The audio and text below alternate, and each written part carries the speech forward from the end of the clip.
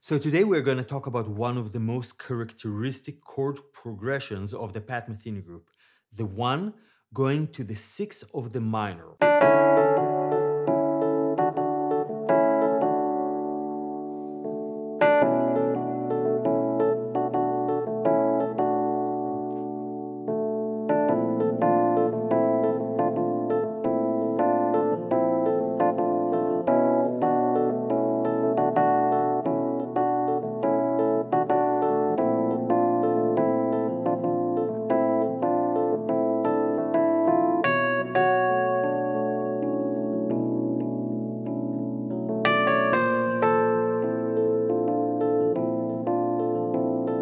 So I have D here with its six degree BM and then DM with its six degree B flat.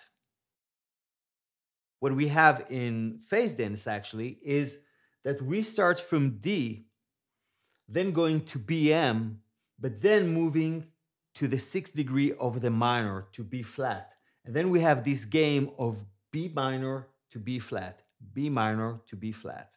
So after the initial tonic,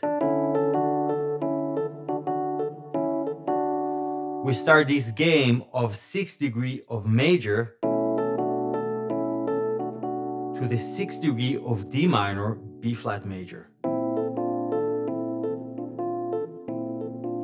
And this is a question for the channel, for you guys. You tell me in the comments when is the next time that this D major comes back? Maybe it's not even in this track. You may have to listen to um, the whole album to come up with the answer.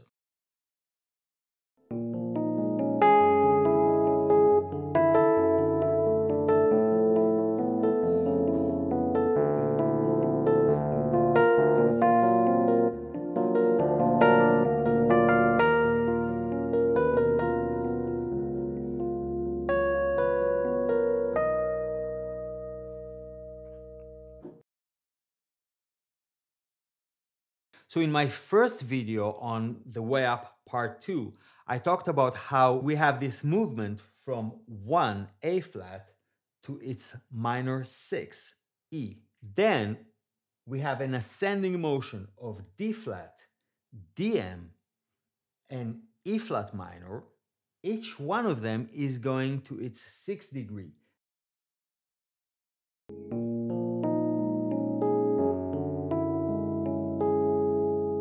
So I have the same progressions that I had before for phase dance over here, a half step lower. We go from the sixth degree of the major, B flat minor seven, to the sixth degree of the minor, A. Same as we did here in phase dance, from BM to B flat, except right now we're gonna go from B flat minor seven to the fourth degree of A, which is D and we're going to play it over F sharp.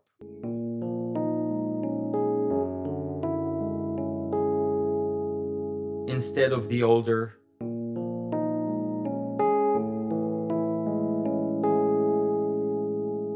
So to express the same kind of emotion, the old Pat Metheny group might have used this progression like in phase dance.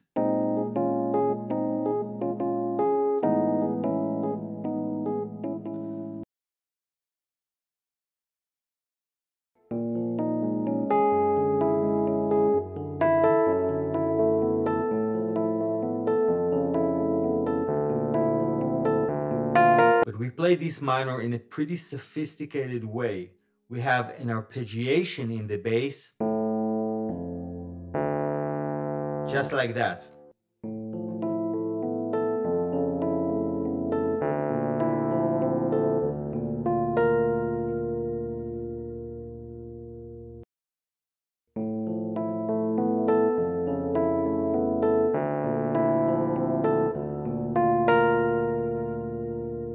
We are actually playing, if we have to simplify it, is a D that goes to B flat. And then this B flat over D becomes a D7, which is extended this way by these arpeggios that leads us half step up to E flat minor that again goes to its sixth degree.